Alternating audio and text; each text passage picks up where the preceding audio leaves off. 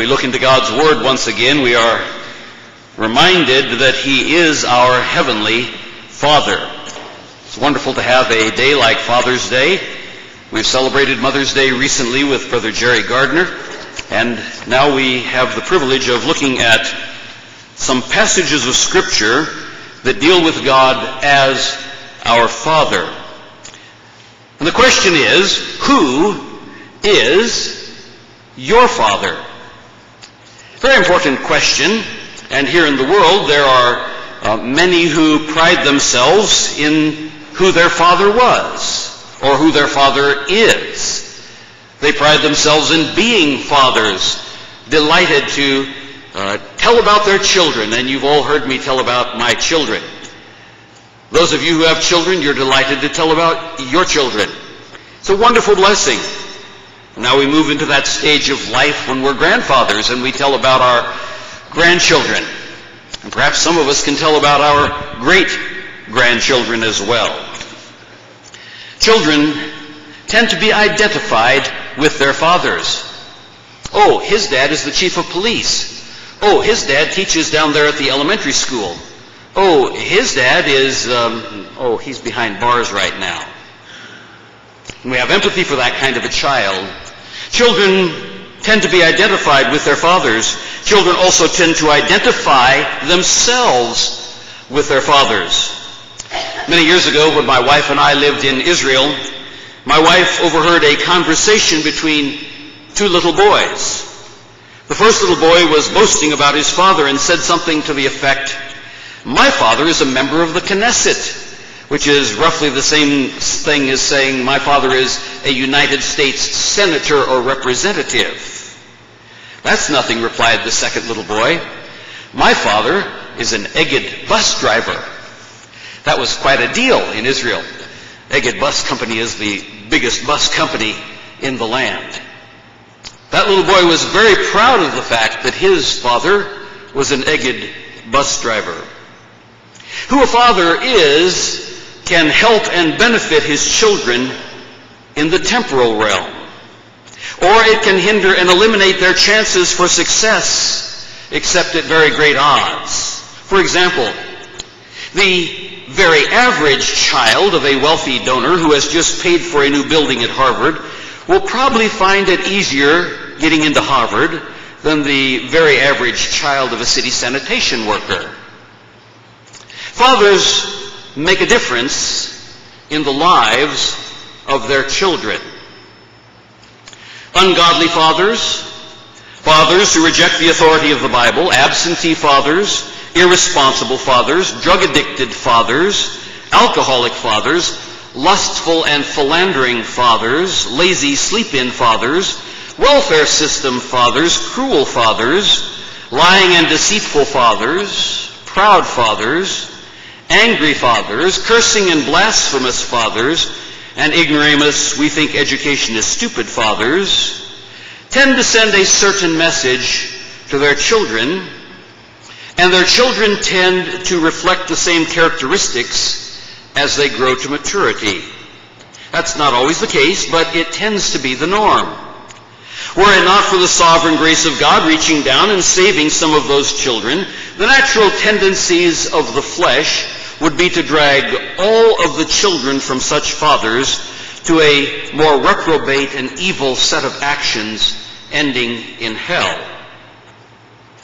On the other hand, godly fathers, fathers who exalt the scripture in their lives and practice, fathers who reflect our Lord Jesus Christ, faithful fathers, diligent fathers, kind fathers, honest fathers, self-controlled fathers, hard-working fathers, fathers who provide for their families, fathers who control their tongues, fathers who value education and discipline, and fathers who are faithful to their wives, likewise send a different message to their children. And their children tend to reflect the same characteristics as they grow to maturity. It's not always so. Because the world, the flesh, and the devil fight vigorously against the godly influence of godly fathers, but it does tend to be the norm. You know, the same is true in the spiritual realm.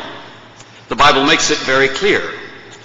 If you stop and think about it, as we said a few moments ago in the prayer, God has chosen the title Father to describe himself in relation to believers whom he calls his children.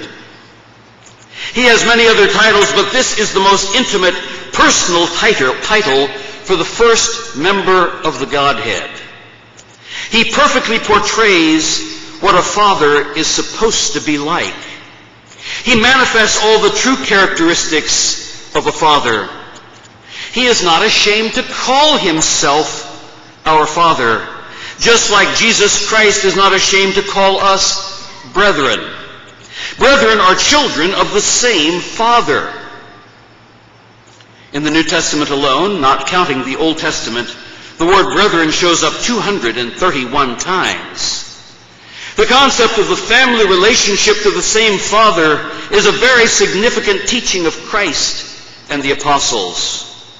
Just like physical brothers will have the same character qualities and physical similarity features to their earthly father, spiritual brothers will also have similar character qualities and moral features to their heavenly father and to their elder brother, in this case, Jesus Christ and it will be a reflection of their holy position and calling. Jesus calls us his brethren. Hebrews chapter 2 verses 11 and 12, For both he that sanctifieth and they who are sanctified are all of one, for which cause he is not ashamed to call them brethren, saying, I will declare thy name unto my brethren. In the midst of the church will I sing praise unto thee. That is speaking of Christ calling us brethren. He is the one who sanctifies. We are the ones who are sanctified. It is a holy relationship with our Heavenly Father, who is holy. Hebrews 2.17, five verses later, Wherefore in all things it behooved him to be made like unto his brethren that he might be a merciful and faithful high priest in things pertaining to God to make reconciliation for the sins of the people. Our Lord Jesus Christ took upon him flesh and blood, born sinless through the virgin birth, lived a perfect and sinless life, died as our substitutionary sacrifice on Calvary's cross to pay for our sins because he loves us as his brethren. I think most of us here who truly love our brothers and sisters would be willing to die for them. Our Lord Jesus Christ did that for us. And he came at the will of the Father to deliver us. That's the family relationship that God has in His mercy extended to you and to me. Jesus told us in Matthew chapter 12 verse 50, For whosoever shall do the will of my Father which is in heaven, the same is my brother and sister and mother. One of the characteristic qualities of those who are children if they are obedient children, is they do the will of their father. Who is your father? Do you manifest it in the way that you do his will? Whosoever shall do the will of my Father which is in heaven, the same is my brother and sister and mother. But there are some who are not of the heavenly Father. They're growing up. They're even in churches. They're planted in their pews. They show up on Sunday morning, but they are not saved. Just because they are in a church building does not mean they're one of the Heavenly Father's children. Jesus said that in Matthew 15, 13. He answered and said, Every plant which my Heavenly Father hath not planted shall be rooted up. That brings us to the second observation. God is not the only one in the Bible who is called Father. Listen to what Jesus said. I speak that, and this is John chapter 8, beginning in verse 38. I speak that which I have seen with my Father, and ye do that which ye have seen with your father. They answered and said unto him, Abraham is our father. Jesus saith unto them, If ye were Abraham's children, ye would do the works of Abraham. You see, children tend to reflect their parents. But now ye seek to kill me, a man that hath told you the truth, which I have heard of God. This did not Abraham. Ye do the deeds of your father. Then said they to him, We be not born of fornication. We have one Father, even God. Jesus said unto them, If God were your Father, ye would love me. For I proceeded forth and came from God, neither came I of myself, but he sent me. Why do you not understand my speech? Even because you cannot hear my word? Ye are of your father the devil, and the lusts of your father ye will do.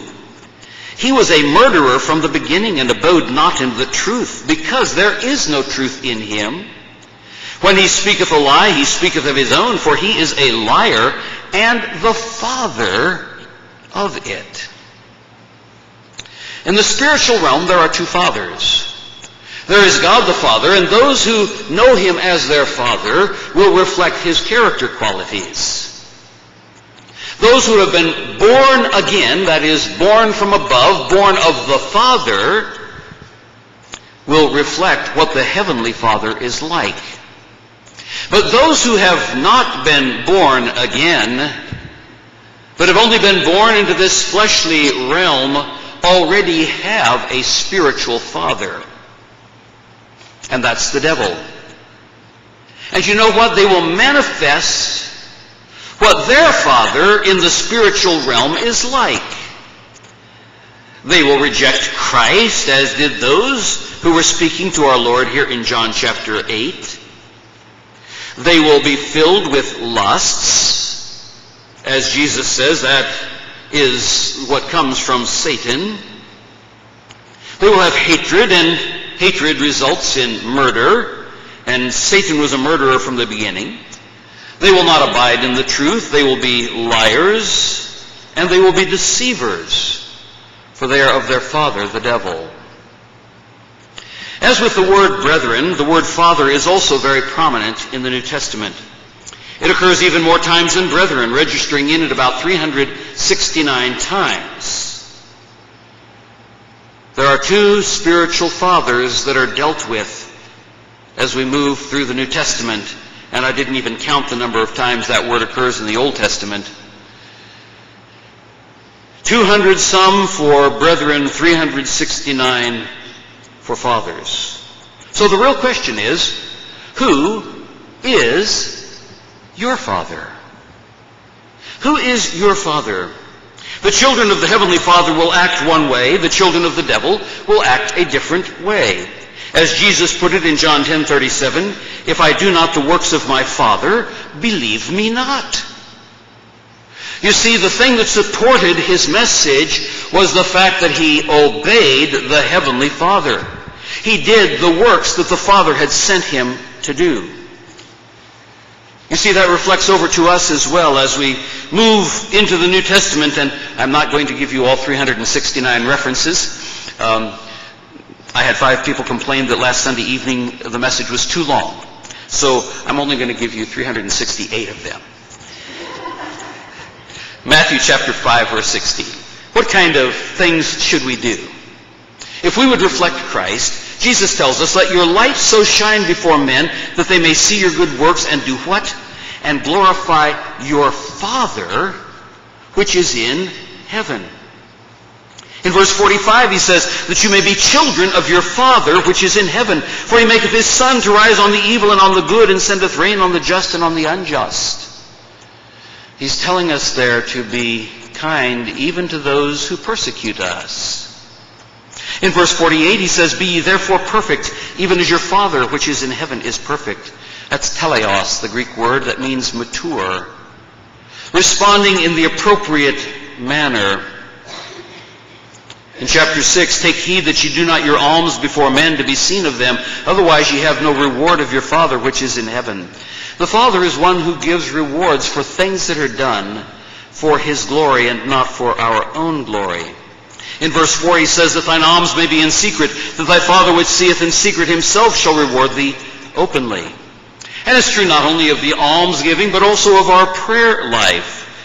When thou prayest, enter into thy closet, and when thou hast shut thy door, pray to thy Father which is in secret, and thy Father which seeth in secret shall reward thee openly.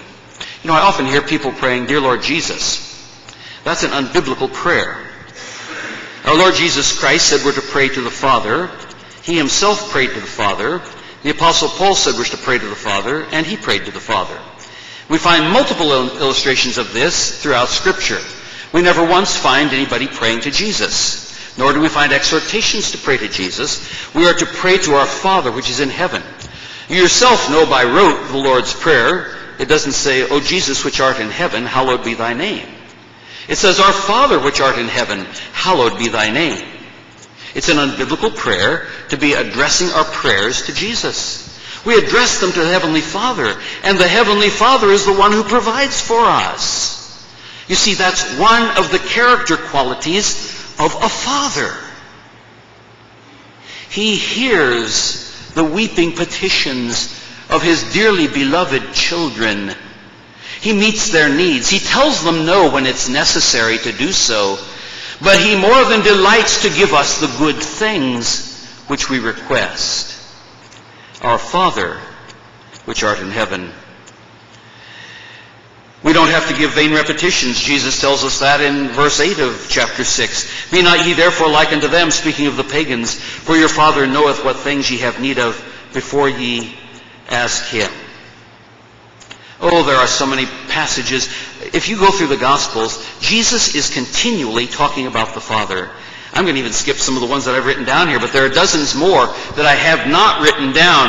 But our Lord Jesus Christ goes on from giving alms and prayer, then he talks about fasting. And he says that thou appear not unto men to fast, but unto thy Father which is in secret, and thy Father which seeth in secret shall reward thee openly. He's a God who meets our needs. The Father Behold the fowl of the air, for they sow not, neither do they reap, nor gather into bonds, yet your heavenly Father feedeth them. Are ye not much better than they? He doesn't give us what's bad for us. He gives us what's good. Chapter 7. If ye then being evil know how to give good gifts unto your children, how much more shall your Father which is in heaven give good things to them that ask him? Men, the Heavenly Father is the prime example for you and for me who are fathers. Look at all the references in Scripture to God the Father. It will tell you what we are supposed to be reflecting. Yes, we know we're supposed to reflect the Lord Jesus Christ, for He perfectly reflected the Heavenly Father, and we'll look at those verses in a few moments, the Lord willing. But the Heavenly Father is the one who sets the example as a father to us in the way in which he meets our needs. But you know, just using the right words is not enough. Suppose some child that I'd never seen before came up to me and said, um, I know I'm supposed to ask my father to support me. So, Father, will you support me? Is that child my child? Do I have an obligation to support him? The answer to both questions is no. And Jesus said so in Matthew 7:21. Not every one that saith unto me, Lord, Lord, shall enter the kingdom of heaven, but he that doeth the will of my Father which is in heaven. Using the right words is not the way in which God becomes your Father and Jesus becomes your Lord. It's a matter of faith in Christ alone.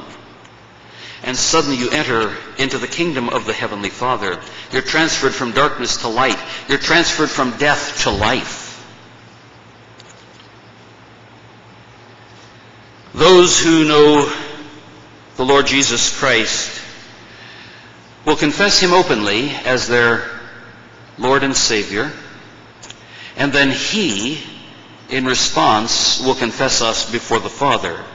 Whosoever therefore shall confess me before men, him will I confess also before my Father, which is in heaven. But whosoever shall deny me before men, him will I also deny before my Father, which is in heaven.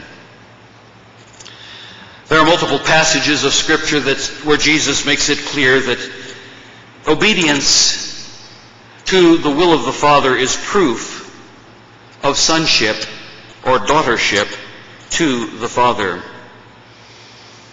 Jesus tells us this, Whosoever therefore shall be ashamed of me and of my words in this adulterous and sinful generation, of him also shall the Son of Man be ashamed when he cometh in the glory of his Father with his holy angels. We all know John chapter 14, verses 6 and following. It's a marvelous passage of Scripture. And as we look at that passage of Scripture, we discover that there are a number of wonderful and blessed things that we're told. We have the great promise of heaven. We often hear verses 1 through 6 preached as we go to funerals. But verse 7 goes on. Not only does Jesus promise us a house in heaven where he's come to, to receive us, but in John 14, 7 he says, If you had known me, you should have known my Father also, and from henceforth you know him and have seen him. Philip saith unto him, Lord, show us the Father, and it sufficeth us. Jesus saith unto him, Have I been so long with you, and yet hast thou not known me? He that hath seen the Father, hath seen me, has seen the Father. Oh, what a marvelous truth. Jesus perfectly reveals the Heavenly Father to us. What a great and precious and blessed truth that is. We find that obedience to Christ, therefore, is obedience to the Heavenly Father. Obedience to Christ is proof of our relationship to the Heavenly Father. In verse 14, uh, chapter 14, verse 21, Jesus said, He that hath my commandments and keepeth them, he it is that loveth me, and he shall be loveth me, shall be loved of my Father and I will love him and manifest myself to him. Jesus answered and said unto him, If a man love me, he will keep my words, and my Father will love him, and we will come unto him and make our abode with him. He that loveth me not keepeth not my saying, and the word which you hear is not mine, but the Father's which sent me. Obedience to Christ is obedience to the Father. Suppose your father, imagine yourself as a child with an older sibling, sends the older sibling and says, Dad says, come home right now, it's time for dinner. And you say to your older sibling, I don't have to obey you because you're not my father. But the message that the older sibling is carrying is a message from the father. So when you disobey, you are not disobeying merely an older sibling. You are disobeying your heavenly father. And that's what we find our Lord Jesus Christ. He that hath my commandments and keepeth them, he it is that loveth me, and he that loveth me shall be loved of my Father, and I will love him and will manifest myself unto him. He that loveth me not keepeth not my sayings, and the word which you hear is not mine, but the Father which sent me. Read John 14, 15, and 16. That's the upper room discourse. That's what Jesus tells the disciples just before he goes to the cross. This is the last time of in-depth teaching that he has with them, and the emphasis is on their relationship to the Father through obedience to the Son.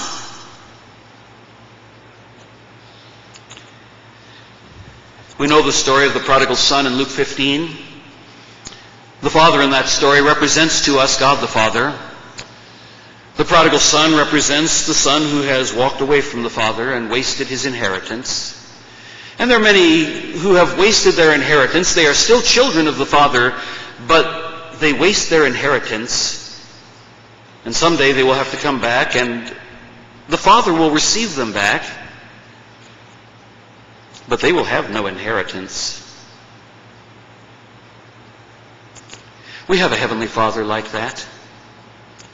He's a Father who loves us as His children. He wants to be reconciled with us. He's provided the means of reconciliation through the blood of His Son, Jesus Christ. Are you reflecting your Heavenly Father, or are you wandering among the pagans and wallowing in the pigsty eating the husks of corn? Christ perfectly reveals the Father, so imitating and obeying Him shows that relationship to the Father. He perfectly reveals the Father. John tells us that in John 1.18. No man hath seen God at any time. The only begotten Son, which is in the bosom of the Father, hath declared him. John 5:19 Then answered Jesus and said unto them, Verily I say unto you, the Son can do nothing of himself, but what he seeth the Father do. For what things soever he doeth, these also doeth the Son likewise.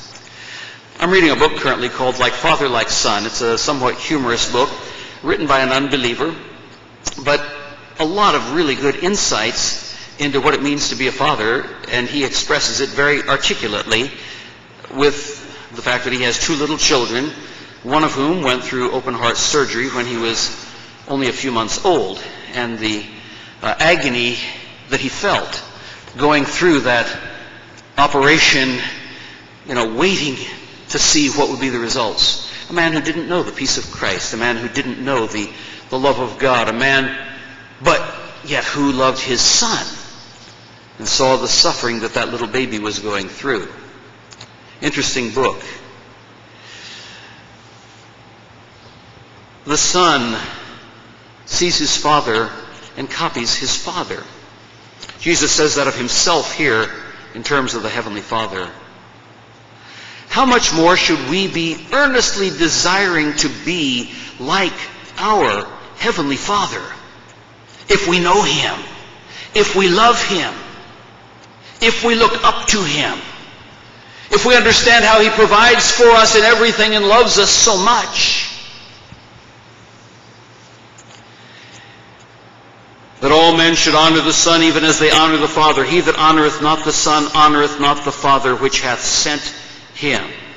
If any man serve me, let him follow me, and where I am, there shall my servant be. If any man serve me, him will my Father honor. Jesus saith unto him, I am the way, the truth, and the life. No man cometh unto the Father but by me. Oh, how many passages of Scripture tell us that our relationship to the Father comes through the Son, Jesus Christ. The Father is sovereign in salvation, and unbelievers do not have the Spirit-empowered likeness when they try to imitate our Heavenly Father. It's not genuine. The Father is sovereign in salvation. All that the Father giveth me shall come to me, and him that cometh to me I will in no wise cast out. John 6:39 This is the Father's will which hath sent me that of all which he hath given me I should lose nothing but should raise it up again at the last day. Verse 44, No man can come to me except the Father which hath sent me draw him, and I will raise him up at the last day. As the Father gives the seed of life to his wife, which produces children, so the Heavenly Father has given the seed of his word into the heart of those who are his elect, and he brings forth fruit, life wonderful pictures that Jesus gives to us. In verse 65, and he said, Therefore said I unto you that no man can come unto me except it were given unto him of my Father. And it's a secure relationship. It's a relationship which cannot be broken, just as children are always going to be descended from their father, no matter whether they change their names, no matter whether they move to a foreign country, no matter whether they live or die, they are still his children. Even so it is with us. It's a permanent relationship. My Father which gave them me is greater than all, and no man is able to pluck them out of my Father's hand. I and my Father are one. John 10, 29 and 30. The Father keeps his promises to his children. We'll go over just one of those. That is the promise of the Holy Spirit given on the day of Pentecost. In Acts chapter 1 verse 4, and being assembled together with them, this is Jesus just prior to the ascension, commanded them that they should not depart from Jerusalem, but wait for the promise of the Father, which, saith he, ye have heard of me. And then we find Peter preaching it after the day of Pentecost occurs in the opening verses of Acts chapter 2. And the Spirit of God is given, and we find the day of Pentecost, and a new work of God is beginning on that day. Peter preaches and he says, Therefore, being by the right hand of God exalted, that is Jesus Christ, having ascended, and having received of the Father the promise of the Holy Ghost, he hath shed forth this, which you now see and hear. How many promises are there in the Word of God to you? God, if He is your Father, always keeps His promises. Men, do you keep your promises to your children? Or do you sort of make off-the-cuff promises just to get them out of your hair? Yeah, yeah, yeah, I'll do that, sure. You, you know, just wait a while, wait a while. I'll get to it, I'll get to it. The Heavenly Father always keeps His promises. That is an illustration for us dads of how we should keep our promises to our children as well. The Father is in control of prophetic history. He plans and executes His plan. Oh, how we thank God that He is in control. Jesus answers them. They say, Lord, wilt thou this time restore the kingdom unto Israel? And Jesus answers them and he says, It is not for you to know the times of the seasons which the Father hath put in his own power. It is the Father who has ordained the course of history and its times. 1 Corinthians 15, 24, then cometh the end, when he shall have delivered up the kingdom to God, even the Father, when he shall have put down all rule and authority and power. Ephesians 4, 6, one God and Father of all, who is above all, and through all, and in you all. That's one Father. But the other Father that we mentioned, and we only will speak of him briefly, is the devil, and the devil's children act a different way. John 15, he that hateth me hateth my Father also. Verse 24, if I had not done among them the works which none other man did, they had not sinned. But now have they both seen and hated both me and my Father. This is the group that he told a few chapters earlier, you're of your father the devil. These are the things that they will do unto you because they have not known the Father nor me. He's prophesying the persecution to come. 1 John 2.22, Who is a liar but he that denieth that Jesus is the Christ? He is Antichrist that denieth the Father and the Son. It will be those who deny who Jesus is and what he did. They are not children of the Father. They are liars. Whosoever denieth the Son, the same hath not the Father, but he that acknowledgeth the Son hath the Father also. There are doctrinal tests that are involved in whether or not someone is truly a child of the Heavenly Father. There are moral tests as well as the doctrinal tests. We find whosoever transgresseth and abideth not in the doctrine of Christ hath not God. He that abideth in the doctrine of Christ hath both the Father and the Son. He that committeth sin is of the devil, for the devil sinneth from the beginning. For this purpose the Son of God was manifest, that he might destroy the works of the devil. The children of God versus the children of the devil. The heavenly father versus the satanic father. In this the children of God are manifest, and the children of the devil. Whosoever doeth not righteousness is not of God, neither he that loveth not his brother. And you've heard me say before, there are three tests of the true believer in 1 John. Number one is the doctrine of Christ, who Jesus is and what he did. Number two is love of the brethren. Number three is the godly lifestyle. Those are three things that demonstrate our relationship, according to 1 John, with the one who is our Heavenly Father. Satan is the one who leads us into temptation. Then was Jesus led up with the Spirit into the wilderness to be tempted of the devil. It's Satan who does the temptations, not God. Listen to James 1.13. Let no man say when he is tempted, I am tempted of God. For God cannot be tempted with evil, neither tempteth he any man.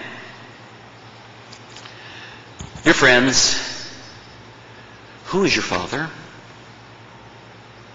Who is the one whom you are imitating?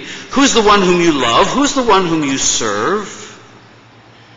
Oh, we could, many passages in Acts where different ones who are involved in occult activities and so on are told that they are children of the devil. For example, Acts chapter 13, and said, O full of all subtlety and mischief, thou child of the devil, thou enemy of all righteousness, wilt thou not seek to pervert the right ways of the Lord? Paul calls him a child of the devil. The devil is seeking to make believers look like his children.